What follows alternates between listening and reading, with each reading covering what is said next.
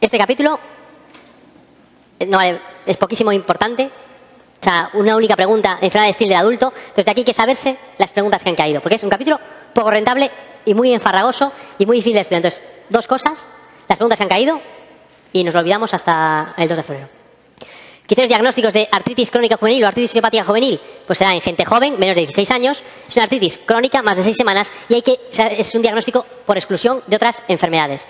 ¿Qué tenemos que saber de este cuadro? Que la forma sistémica o estilo del niño es seronegativa y el tratamiento es como el estilo del adulto, AINES si no controlamos corticoides, si no controlamos pues inmunosupresores, que la forma poliarticular es factor reumatoide positivo que suele asociar nódulos subcutáneos, se parece mucho a una artritis reumatoide y el tratamiento es como el de la artritis reumatoide y la forma óligo o pauciarticular que vamos a distinguir sobre todo dos subformas. La forma periférica, ANAS positivos, que se asocia a una iridociclitis crónica y los ANAS son positivos en prácticamente todos los casos, y la forma axial, HA27 positivo, que asocia a una iritis aguda y es seronegativa.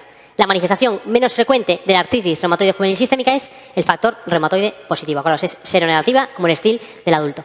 Fiebre elevada, erupción reumatoide, leucocitosis, hepatosplenomegalia es seronegativa.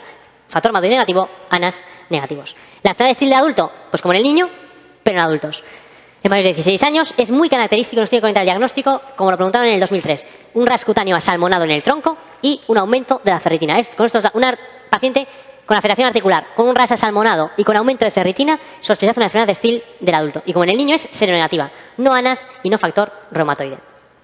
Tratamiento escalonado, antiinflamatorios no esteroideos. Si no se controla, pues damos corticoides y si no controlamos las manifestaciones sistémicas, pues es necesario asociar inmunosupresores.